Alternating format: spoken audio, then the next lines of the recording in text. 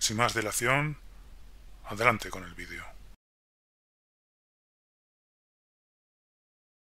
Ya hemos visto para qué sirve, ¿no? Casi 30 millones de euros que con total seguridad van a ser malversados en el show de los separatistas por el mundo.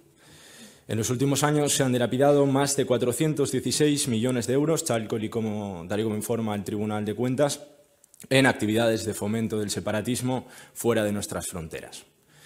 Un dinero que ha ido destinado a pagar los viajes de los consejeros, de los altos cargos del Gobierno de la Generalitat por todo el mundo y, bueno, pues si por lo menos hubiese servido para lograr la atracción de inversiones, de empresas, eh, fomento del turismo, pues, bueno, pues algo, para algo hubiese servido, ¿no?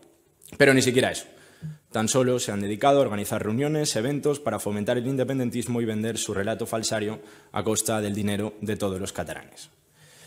Más gasto en viajes inútiles para los intereses de los catalanes, más gasto para las embajadas, más gasto para pagar sueldazos a eh, espabilados con lacito amarillo y chiringuitos ideológicos.